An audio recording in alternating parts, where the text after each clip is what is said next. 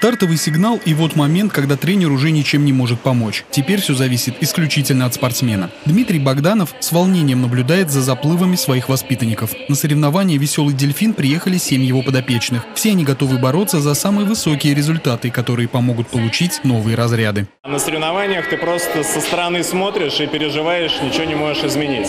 Ребенок выходит сам, показывает свой результат, ну и, соответственно, это результат уже работы тренера. И дальше уже после соревнований идет работа над ошибками.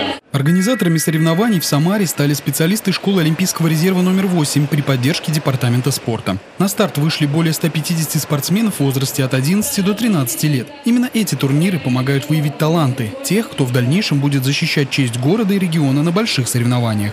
Эти соревнования проходят для того, чтобы дети набрались как можно больше опыта, чтобы они постарались э, бороться прежде всего с самим собой, со своим психологическим, психологической составляющей, потому что все равно любой старт – это определенные нервы, это определенная подготовку должен пройти спортсмен, чтобы потом не бояться, опять же, воды и дистанции. Соревнования городского уровня впервые прошли в новом бассейне в Куйбышевском районе. Здесь 25-метровый бассейн с шестью дорожками. Современная инфраструктура позволяет проводить и всероссийские детско-юношеские соревнования на короткой воде. Он готов принять любые форматы, которые позволяют его пропускная способность. Понятно, что это малая вода, здесь мы не сможем провести старты взрослых ребят, но тем не менее для 11, 12, 13-летних ребят мы вполне спокойно можем провести эти мероприятия. Городской этап будет проходить три дня. За это время пловцы разыграют 20 комплектов медалей. Это дистанции 50 и 100 метров на спине, брасом, вольным стилем и баттерфляем. Также будут комплексные заплывы, где спортсменам нужно показать владение всеми четырьмя стилями и длинная дистанция 400 метров вольным стилем. Андрей Горгуленко, Валерий Майоров. События.